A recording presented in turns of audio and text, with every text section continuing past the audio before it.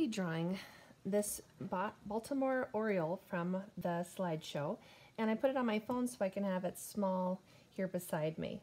Um, you might have a pencil at home that has a black eraser, just like we did at school. Um, and if you don't, that's okay, because you know what? A lot of artists don't have a black eraser, and they just learn to draw lightly. So if I was going to block out this um, Oriole, I notice circle head, and this body has a very large oval. So whatever bird you're looking at, you're kind of looking at what size is that body. And then I like to look at the head versus the chest here. And I notice that it kind of, um, there's a line here where the, the head and the front of the body kind of line up. And I notice that this line is very smooth. So I'm drawing very lightly right now until I get the line just where I want it. And then I'm going to adjust it. And this line goes right down and right into its tail, which kind of sticks off to the side.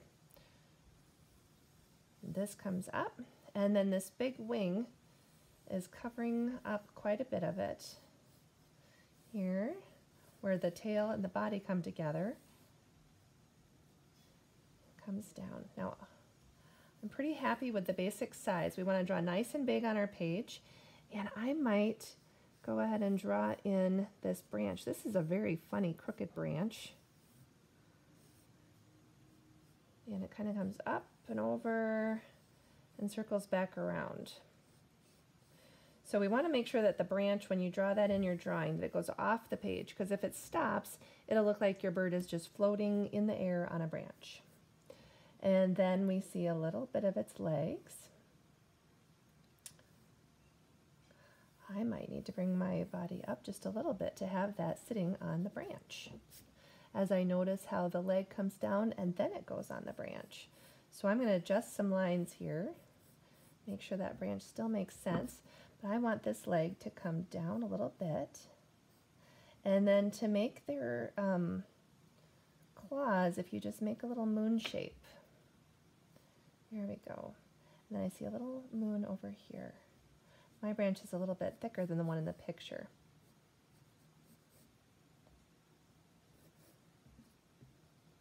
There we are. And then I see the beak. That's going to make this look more like a bird. And the eye.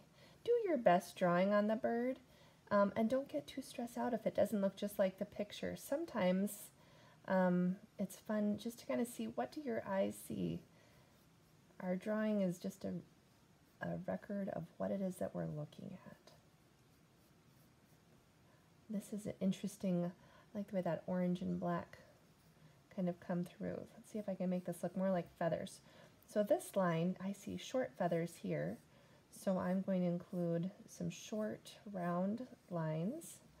And then the feathers on the wing are much longer. So I'm going to make some long lines here and then they get a little bit shorter.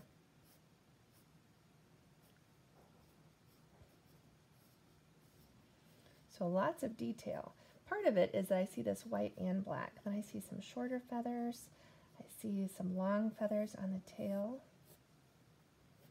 And I'm going to take my eraser, kind of clean up some more areas. And I don't need that circle that I had to start. All of this is going to be black. Some of your birds might have some different um, spots where you see stripes of color and you can draw those lines in because then when you go to color it, it's a little easier.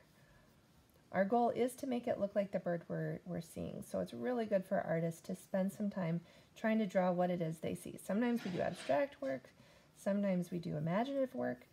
This drawing is all about trying to show what we see. Here we go when you're happy with your pencil sketch, and I'm getting, I'm pretty happy with how this is turning out right now. Just a few more adjustments. You're going to take a picture in Seesaw and show me what you made.